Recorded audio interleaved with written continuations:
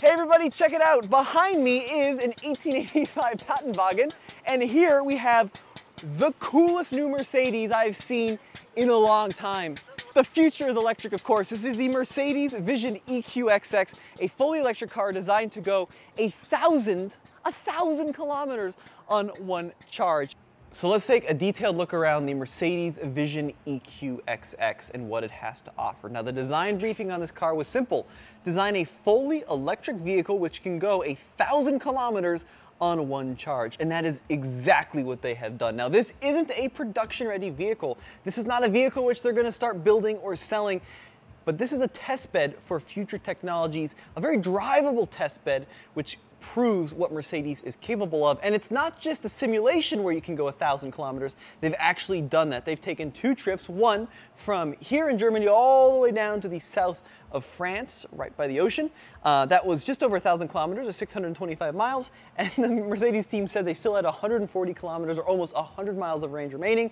And then most recently, they drove this car from here in Germany all the way up to Silverstone in the UK. And that was closer to like 1,200 kilometers or 700 miles. And that was all on one single charge. I'm uh, Friedemann from Mercedes-Benz, the test driver, test engineer for the project EQXX. And I will um, guide you Wonderful. onto the test track right now and let's have fun. So where are we at here? What is this facility? This facility is Mercedes-Benz own uh, test facility. We go straight around this, uh, owned by Mercedes-Benz, and um, we have different test tracks over there: high speed, uh, off-road, uh, hill climb, normal roads, countryside roads. So you will experience that. So the EQXX is a one-off, but check out how finished and refined this vehicle is. So to get into the vehicle, we're gonna hold our hand over the recessed door handle, all in the name of aerodynamics. And this is one of the coolest interiors I have seen in a long time. Now I've been around a lot of prototypes and oftentimes you see them and things are made out of foam and wood and little bits of chewing gum. But this is such a finished looking design. It is just incredible. Let me hop on in here. So we've got one continuous flowing screen from the left all the way to the right. You've seen the uh, EQS Hyperscreen. This is like that to the next level. It's a touchscreen design. Um, you can, you know, play and configure with all of it. Now, uh, here we have it set up with the solar display, which I think is really cool. It shows us the sun elevation. It shows us the amount of energy we have collected. We've got graphs over here, um, but it's just like, oh, what an insanely cool screen. We've got music panels. This is the next generation, the future of Mercedes interiors. And if it looks anything like this, excuse the flashing camera, it's gonna be pretty amazing. Now some other cool things on the inside, this beautiful two-tone design with this white leather against this blue material. And of course, it's all a, uh, a recycled material in here. It's designed to be um, sustainable. There goes the uh, 1885 Patentwagen. That's kind of a, an incredible dynamic. 1885, the first Mercedes, to now the very newest. Flat bottom steering wheel with this uh, exposed kind of silver trim. And here we have that asymmetrical design that continues. Let me show you these floor mats.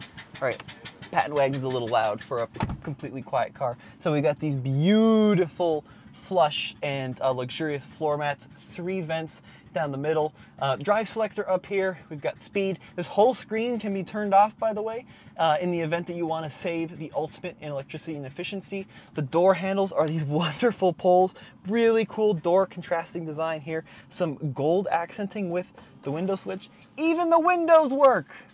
That's amazing. This is like a finished prototype.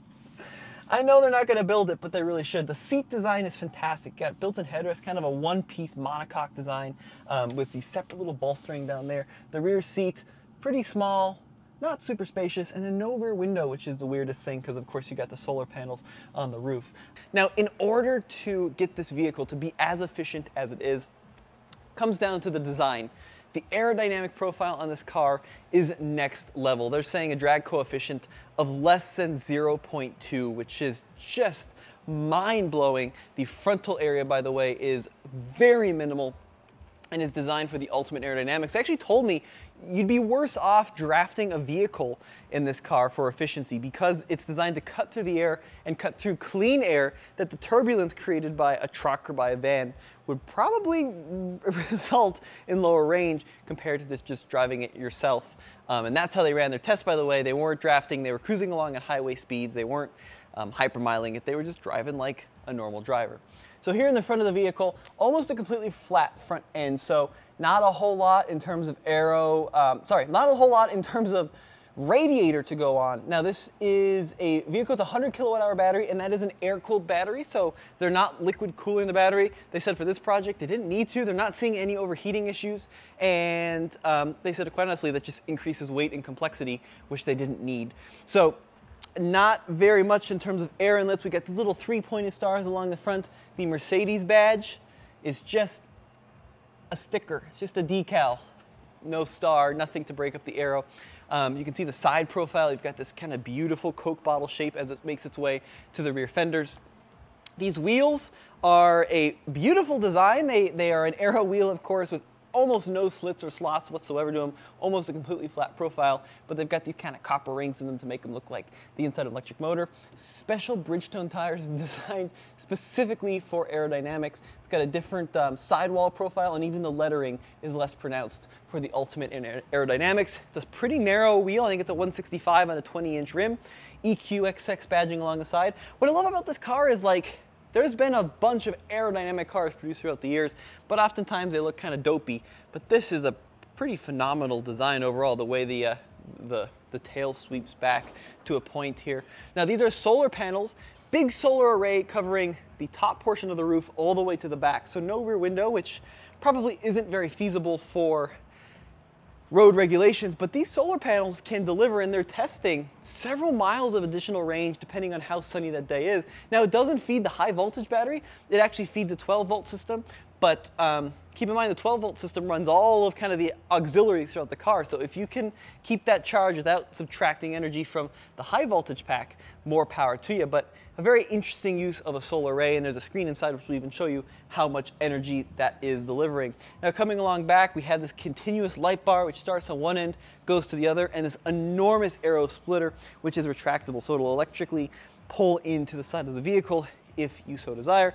Charge port is over here on this side of the car and a very small aerodynamic mirror. But overall, a truly great piece of design which is groundbreaking in its efficiency. To The different recuperation modes, how do they work? So we have a high recuperation that is uh, D minus minus. So if you do two clicks down on the left side, mm -hmm. now you're in D minus minus. That is the one pedal drive um, the highest recuperation mode. Then we have D minus, yep. one click up, that is a bit softer, and then we have D. Yep. That is uh, the softest recuperation, the smoothest, and then we have D plus, that is completely coasting, so zero newton meter on the uh, E machine. This is how we actually open and close the shutters in the front. We've got ambient lighting, um, that diffuser in the back. You can fold it in and out, climate control. Oh, wow. It's like a finished car. I'm amazed by how complete that is. Oh, we got radio controls here. Fantastic. All right. Really cool piece of kit in here. I'm very excited they let me kind of sit, sit inside and play around. What do you think of it, guys? It even has cup holders, tiny cup holders. What are you going to fit in there? That is not an American design cup holder, clearly. But apart from that, I like the jewel like crystal um, air vents there. The dashboard, right? Very minimalist. Unreal. Do you like this one continuous screen? Is this something you could live with? Here we've got our consumption pages. Here we've got power, energy collected. Unbelievable. Now, this is a really special experience. I, I can't believe so. Being yelled at in German. Oh man, I messed up already. Um, no, so the goal of this car was a thousand kilometers, 625 miles on a single charge. So you've actually driven it further than that. Yeah.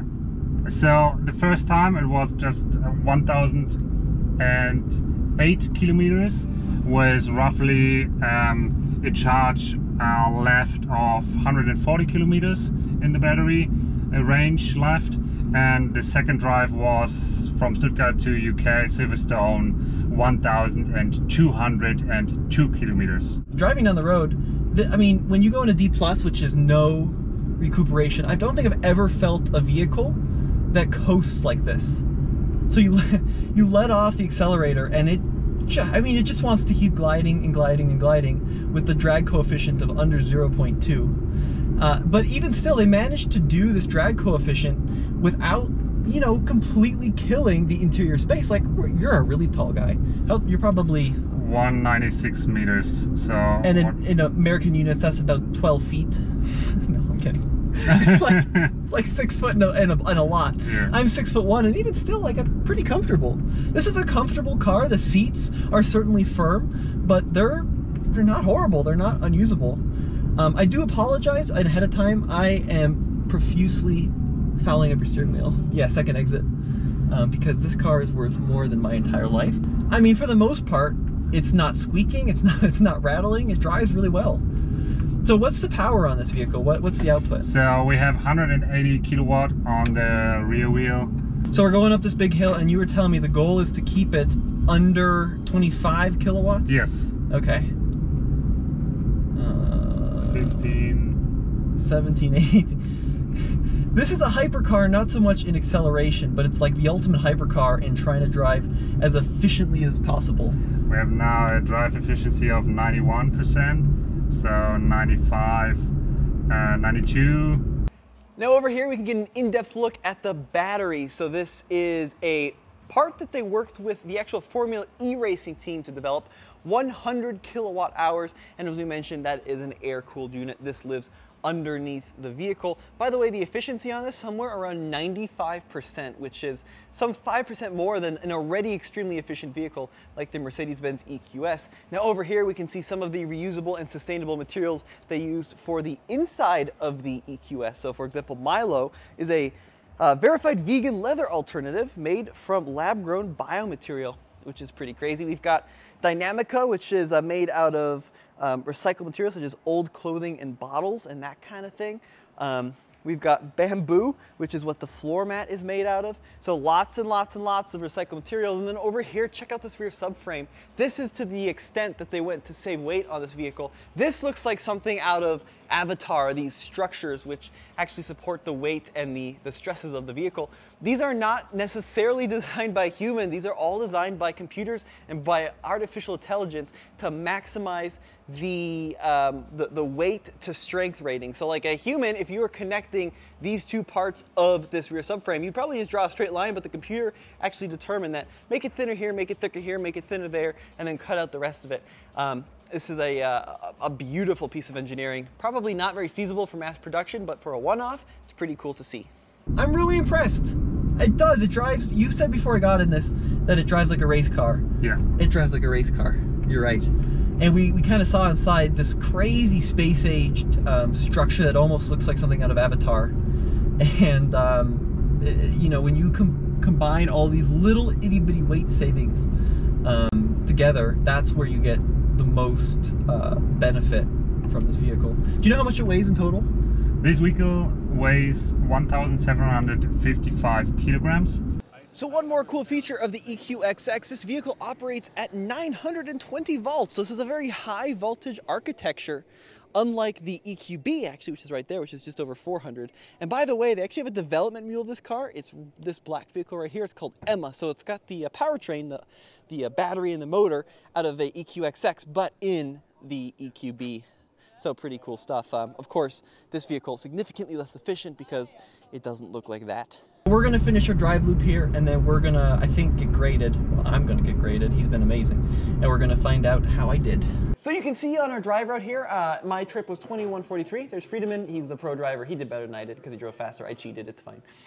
but you can see I averaged um, where'd it go? 8.07 miles per kilowatt hour, which is insane. Um, the best I've ever done in a typical car is like four, maybe five if you're driving really well. But check out these really cool graphs. This is all for my little drive. You can see my brake applications. Uh, almost crashed there, you can ignore that bit. Um, and then you can see, of course, altitude and feet and consumption over time, which is a really cool thing. But overall, yeah, I think it did okay. So from the past to the future, the EQXX is showcasing what the Mercedes engineers are capable of. And I just can't get over how production ready this one-off prototype is. Now, will this ever see production? They're telling me probably not, but we're gonna see technologies that have been learned from this car in future models down the road. Maybe stuff like the solar roof, which is a really smart idea that not many companies have implemented very well. Uh, maybe the, the retractable rear diffuser, which is really cool. These horizontal lights, all things we could see down the road. Let me know what you guys think in the comments below. As always, this has been Tommy. We'll see you in the next video.